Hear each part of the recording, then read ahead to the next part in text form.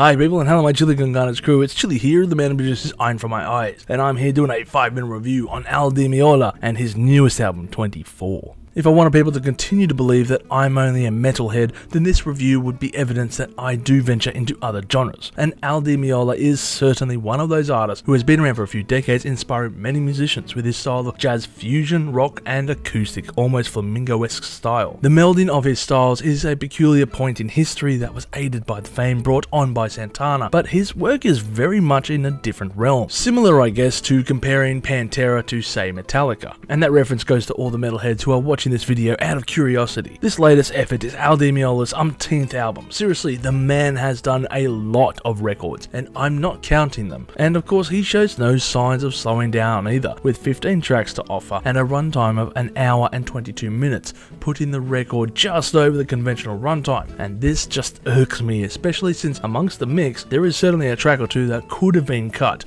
because oh boy, does this album feel like it goes on forever in parts. As much as I appreciate his music, I will admit it can get very dull very quickly, and this particular effort doesn't have too many tracks that particularly stand out.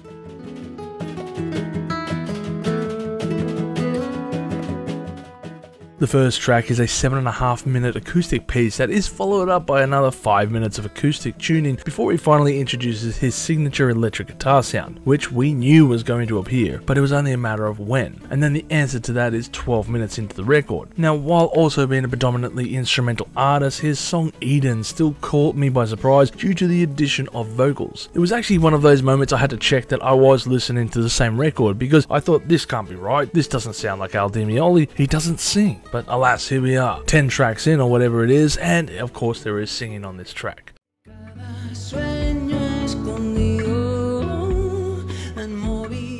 It's one of the more memorable pieces from the album, and I feel that it is because of the additional singing. So it's a bit of a peculiar piece because, again, he is renowned for being an instrumentalist. However, this is one of the best songs off the record, and that's because of the singing.